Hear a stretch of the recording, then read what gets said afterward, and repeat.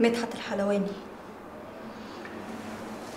وفين قسيم اتجوزك منه ولا اتجوزته عرفي لا رسمي والله. طب فين قسيمة الجواز؟ هتلاقي حضرتك في علبة المجوهرات بتاعتي في البيت في الدولاب.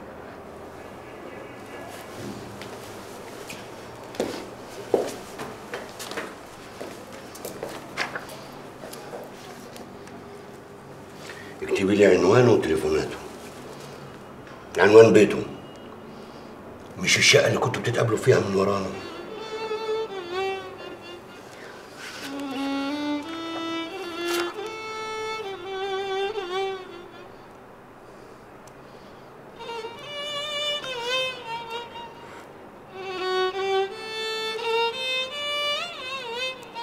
تليفونات.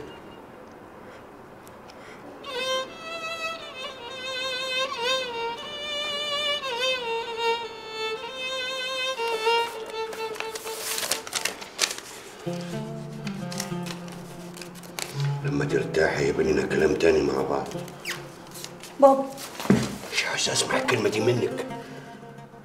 لحد ما اتأكد إن الكارثة اللي أنت عملتيها دي هتتلم.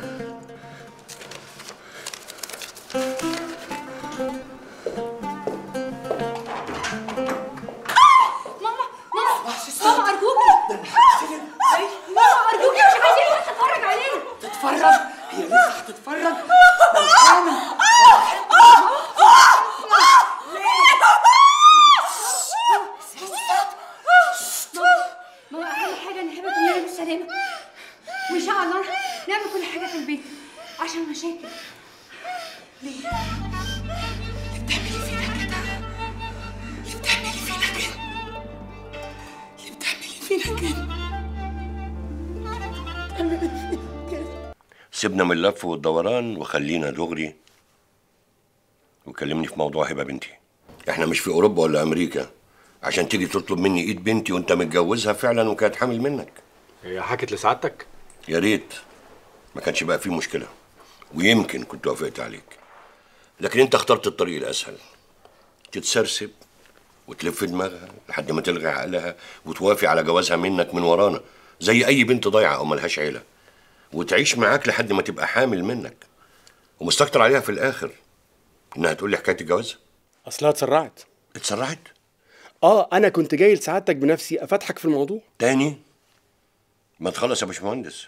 واضح إنك مالكش في الدغري. ما هي مدام هبة حكيت لك يا بيه يبقى أكيد حكيت لك كمان على ظروف مراتي وولادي. وبعدين؟ ولا هي ما حكيتش لسعادتك؟ عموما ما استبعدش على واحد ضحك على بنت عيلة إنه يغدر بمراته وام عياله ويتجوز عليها من وراها. لو سعادتك قصد تجرحني فمعلوماتي بتقول إن الواقعة دي مش الأولى في عيلة الدالي. وبطل الواقعة دي هو خالد الدالي ولا سعادتك نسيت؟ واضح إنك دارس ومخطط من الأول. أنا بقول سعادتك تطلب لنا اتنين قهوة بدل اللي بردت دي. القعدة مع سعادتك ما يتشبعش منها وواضح إن الكلام هيطول. الله ما هي مراتي فعلا يبقى لازمته إيه؟ مراتك كده من غير مهر ولا مؤخر ولا أي حاجة ولا أي حقوق ولا حتى إعلان الجواز ده؟ قول كلام ما يستفزنيش. عشان ما اضطرش اغير معاملتي معاك. ما أنا قلت لسعادتك يا سعد بيه لو ينفع الإعلان كنت أعلنت من زمان. يعني انت كنت جاي تطلب ايدها مني النهارده عشان تتجوزها في السر برضه؟ ظروفي ما تسمحش غير بكده. وبصراحة لو ما كانتش هبة حملت مني أنا لا كنت جيت لسعادتك ولا قابلتك من أساسه. وقاحة متوقعة من بني آدم غاوي طرق ملتوية. أجمل الكلام تقول لف ودوران. أجيلك دغري تقول وقاحة وقلة أدب. أريحك إزاي بس يا سعد بيه؟ زي ما قلت لك. هعصر على نفسي ليمونة وهستقبلك هنا في القصر في النور قدام العيلة وإخواتها. هتطلب إيدها مني وأنا هتجاوز على كل اللي عملته وهوافق. ونبقى نتصرف في حكاية المأذون عشان تبان الحكاية طبيعية. طب وهتعمل إيه سعادتك قدام العيلة وإخواتها لو خلفت بعد ست شهور أو أربع شهور لو طلع المولود ابن سبع انسى حكاية المولود ورد عليا. هو حد ينسى ضناه كلمني زي ما بكلمك. انسى حكاية المولود ورد عليا. قلت إيه؟ كده يبقى في الأمور أمور يا سعد بيه. أكيد هبة نفذت كلامها ونزلت اللي في بطنها وبعد كده جت اعترفت بين إيديك. بس في الحالة دي الحسبة هتختلف. حسبة إيه؟ حسبة الفلوس. ولا هي ما حكتش لسعادتك برضو في حاجة تانية مخبيها عني غير جوازه من واحدة تانية؟ والشيك أبو مليون جنيه؟ بتنطقي. مفيش اللي بيني وبينه بقى شغل وبس. شغل إيه؟ أصل أنا اديته 575 ألف جنيه. عشان شحنة أتوبيسات هيدخلني فيها شريك. وأوراق الشراكة دي فين؟ ما تنطقي هيش ورق. الورق كله مع مدحت.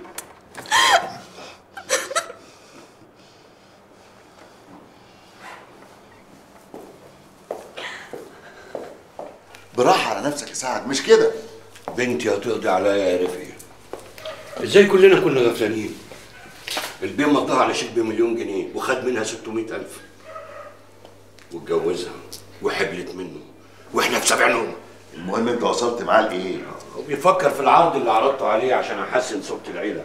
وطبعا كله بتمنه. سليمان عرف يدخل لي من نقطة ضعفي ويضربني في مقتل.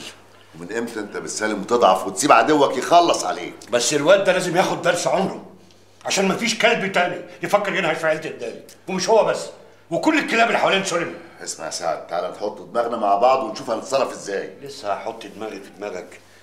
أنا قبل ما أجي لك عديت على المستشار محمد سلامة وقلت له يعمل المطلوب. رفقي في حاجات الواحد بيبقى مخبيها كديفنس لوقت اللزوم ومفيش ألزم من دلوقتي.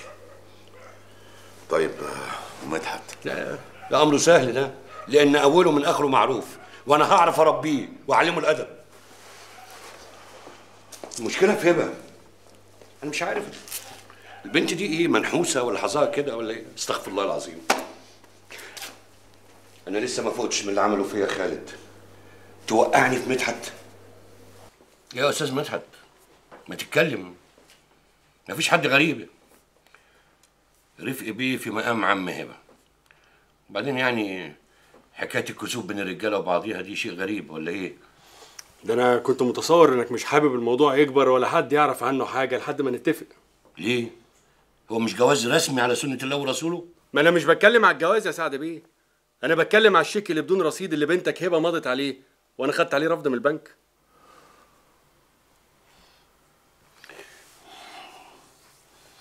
طبعا مش هسألك إيه اللي يخلي زوج محترم؟ ياخد شيك على مراته بالمبلغ ده ويروح وهو عارف إن الرصيد ما يكفيش لأنه واخد اللي قدامها واللي وراها عشان يصرفه فياخد رفض فيحبسها. كل اللي سعادتك بتقول عليه ده عادي وبيحصل. ما عدا موضوع الحبس. إزاي بس يا مدحت بيه عادي وبيحصل. إزاي الراجل عنده شرف ومروه ويقول ده عادي وبيحصل؟ استنى بس يا رفقي خلينا في موضوع الحبس. أنا مش فاهم أنتوا مكبرين الموضوع كده ليه؟ أنا شخصيا متأكد إن الموضوع مش هيوصل للحبس. المسألة بسيطة خالص يا سعد بيه. طلباتك.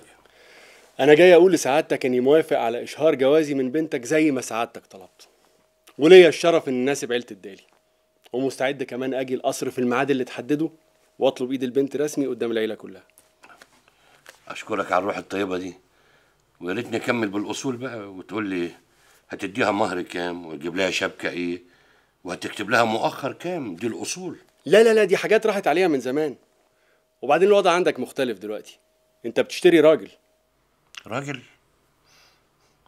لآخر مرة يا عم مدحت طلباتك إيه؟ تعاملني زي جوز بنتك التانية. تديني نفس إمكانياته وصلاحياته وتسمح لي أعيش معاكم في القصر. جوز بنت التانية رفض يعيش معايا في القصر وجاب لها شقة على قد إمكانياته. واللي تجيله النعمة لحد عنده ويرفضها بتزول من وشه. واللي ما يشوفش من الغربال يبقى أعمى. سعد بيه أنا قلت لك كل طلباتي.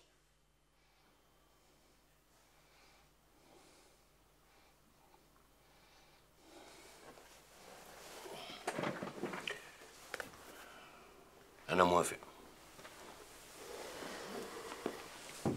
مش عايز لا مهر ولا شبكة ولا مؤخر. وهسيبك تدير لها الشركة. بس على شرط. لا انت ولا هي هتعيشوا معايا في بيت واحد. أنا بصراحة مش متعود حد يعاملني بالطريقة دي. أنا راجل برنس وليا مصاريفي وعندي بيزنس محتاج كل مليم عشان الشغل يمشي. وفي الحالة دي هضطر أصرف الشيك أبو مليون جنيه عشان أمشي شغلي. قصدك الشيك اللي من غير رصيد؟ قصدك الشيك اللي كان بدون رصيد قبل ما سعادتك تعرف. ودلوقتي بقى هنضيف له بدل سجن كان ممكن تتعرض له هبة هانم. شوف أنت بقى حريتها عندك تسوى كام؟ لأني مش متعود على الصفقات القذرة دي. مش عارف أرد عليك أقول لك إيه. أنا مش هقول 500% عشان ما تقولش عليا طماع. نمشيهم 200% 2 مليون؟ 3 مليون. أنت ما بتعرفش تحسب ولا إيه يا عم رفقي؟ وأنا مش مستعجل والسوق ممكن يستنى. ورجولة وشهامة مني يا سعد بيه هديلك فوق الشيك قسيم الطلاق هبة هانم ببلاش. أسبوع كويس عشان تفكر وتحضر المطلوب. يسويها ربنا. كله بتسهيله. أسيبك بقى تشوف شغلك عشان أنا عطلتك. سلام. بالمناسبة يا سعد بيه إثباتا لحسن نيتي أنا مستعد أكتب كتابي على البنت قصدي على هبة هانم بكرة. سلام.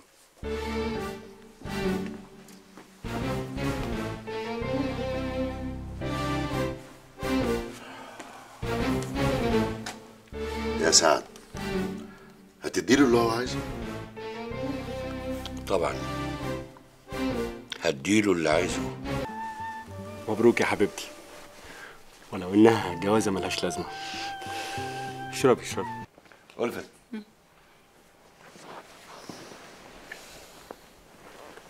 أيوه سعد. حد من الولاد عرف حاجة؟ قلت لهم اللي أنت قلت لي أقوله. إن مدحت كان مستعجل على كتب الكتاب عشان عنده سفرية طويلة بره مصر. وإن شاء الله هتطول على قد ما نقدر.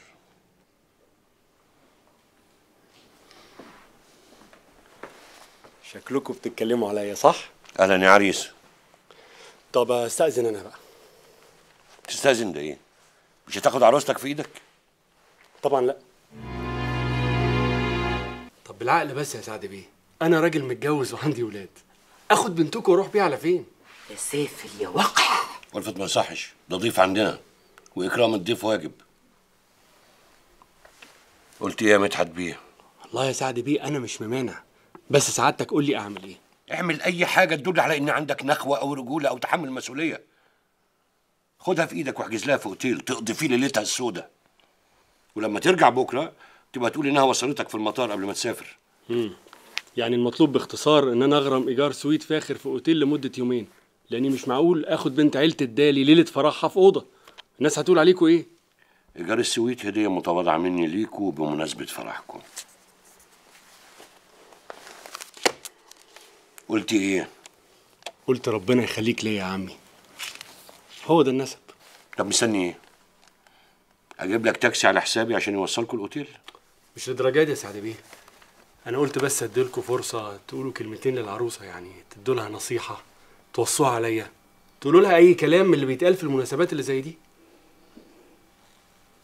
عايزة تقولي لها حاجة يا ألفت؟ هقول إيه؟ من فرحتي بيها مش لاقية كلام أقوله. يلا يا عريس خد عروستك واتكي على الله. بس قبل ما تمشي تقول لي هتسيبها في أنهي أوتيل؟ عشان بكرة أبعت السواق يجيبها. عايزة حاجة تاني قبل ما أمشي يا حبيبتي؟ تاني؟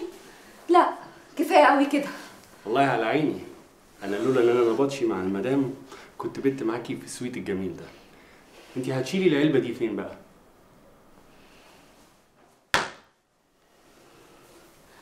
أنت إيه؟ ما بيفوتش عليك حاجة؟ حق عليا إن أنا خايف على حاجة مراتي. عايز أشيلها لك عندي في الأمان بدل ما حد غريب يدخل ينظف الأوضة يلقطها. يلا تصبح على خير حبيبتي. باي.